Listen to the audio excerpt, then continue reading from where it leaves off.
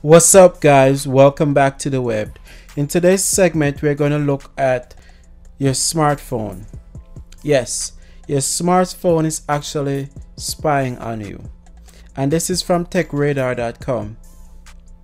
And the topic goes your smartphone is probably spying on you. Here's how to check. Be careful what you discuss around your smartphone as your virtual assistant is likely listening according to a study by NordVPN. NordVPN, guys, if you don't know, it's a virtual private network provider that actually gives you IP addresses that you can actually pay for so that you appear to be somewhere else in the world when you're not with your network devices anywhere in the world. For example, if you were in the United States, you can put a VPN for Europe, China, or Central America. Just an example. All right.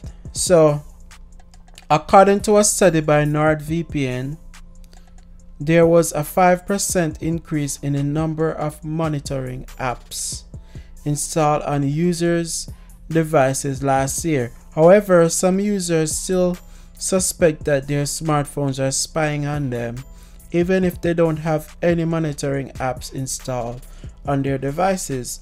This is actually true as virtual assistants such as Siri, Google Assistant, and Alexa listen to smartphone users all the time. This is because they need to constantly listen in order to be able to hear voice commands and assist users.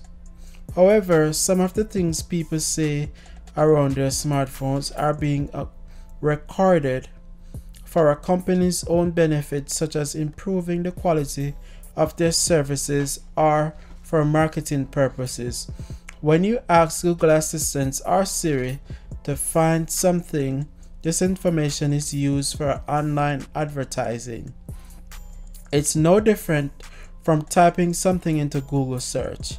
If you're looking for car dealerships in your city, related ads will start chasing you across the internet. In a way, a virtual assistant is just another search engine.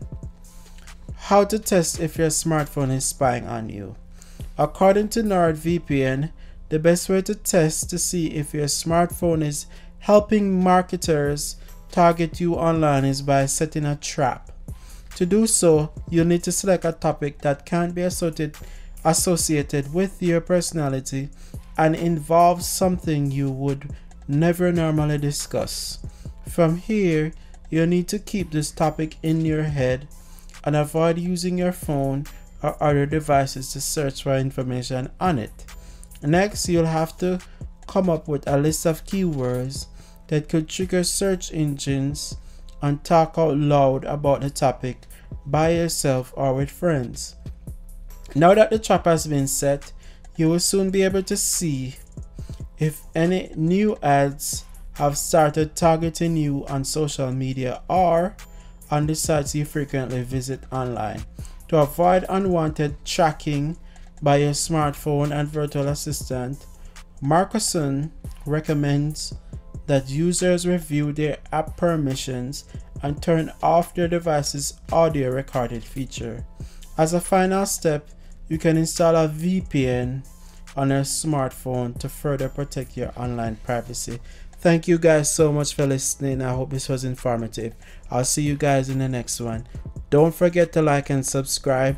Welcome to the Webbed. Peace out.